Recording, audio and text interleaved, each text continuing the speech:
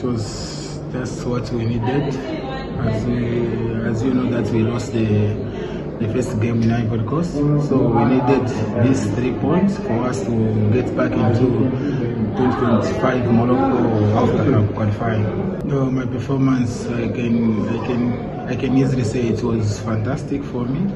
Looking at the where I'm coming from, losing mom on the first of this this month and today hoping the team to get to get maximum point and plus a goal. It's a good feeling and very emotional to me. Oh, you know that losing losing a mother is very difficult moment into someone's life. But you know, life goes on. So that I, I wanted to be part with this team so that I can maybe come back quickly to my normal senses.